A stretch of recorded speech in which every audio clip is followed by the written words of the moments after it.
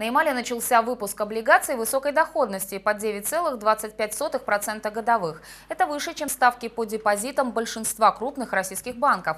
Продажа облигаций внутреннего займа региона начнется 18 октября и гарантирует обладателям стабильный доход в течение пяти лет.